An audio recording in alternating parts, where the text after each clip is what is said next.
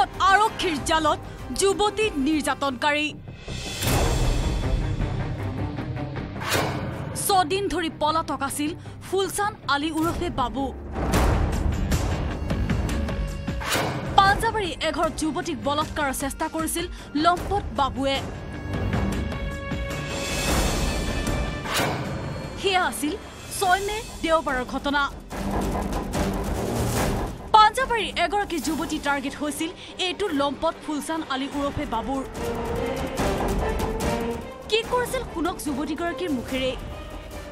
তো ওপৰত মিস্ত্ৰীখিনিয়ে কাম কৰি আছিলে কাম কৰি মানে সিহঁতে আমাৰ পিছফালে মটৰৰ ছুইচ দিব আহে পানী উঠাব মানে কাম কৰি থকাৰ কাৰণে। সেইটো সময়তে সি আহিলে আহি প্ৰথম অৱস্থাত এখন হাত কঁকালত আৰু এখন হাত ৱালত দি থিয় হৈ ৰৈ আছিল। তাক ক'লোঁ যে আপুনি সোনকালে ইয়াৰ পৰা যাওক। সি নগ'ল নগৈ মানে সি তো তাক মই কিলাকুটি মাৰিলোঁ। কিলাকুটি মাৰি অকণমান মানে ছাইড হৈ গ'ল মানুহজন। তেতিয়া চিঞৰ বাখৰ লগাই দিলোঁ।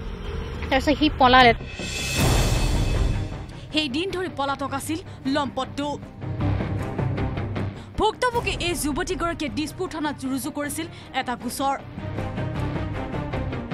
ছদিনৰ অন্তত গোৱালপাৰা ঘৰৰ পৰা আৰক্ষীয়ে ধৰি বান্ধি আনিল বাবুক দিছপুৰ থানাত আহি এজাহাৰ দিলোঁ। এজাহাৰ দিয়াৰ পাছত তেওঁলোকৰ লগতে পুলিচ গৈ মানে বাকী লগৰ যিকেইজন আছিলে তেওঁলোকক লৈ আনিলে। অঁ এজন পলাই আছিলে। গোটেইখিনি মেইন এওঁ আছিলে বাকীকেইজন তেওঁৰ লগৰীয়া আছিলে। মুঠতে এই ঘটনাই পুনৰবাৰ প্ৰমাণ কৰিলে সম্প্ৰতি যুৱতী মহিলাই দিয়া ৰাজপথটো বাদেই ঘৰতো সুৰক্ষিত নহয়। ইয়াৰ পাছত কোনোবা এজন পুৰুষে কোনোবা এগৰাকী মহিলাক বা নাৰীক ছোৱালীক যিকোনো তেওঁৰ অনুমতি অবিহনে মানে চুবৰ কাৰণে এবাৰ এবাৰ নহয় তেওঁ মানে হাজাৰবাৰ ভাবিব লগা কণ্ডিশ্যন হওক আৰু দ্বিতীয়বাৰ এনেকুৱা ঘটনা যাতে নহয়।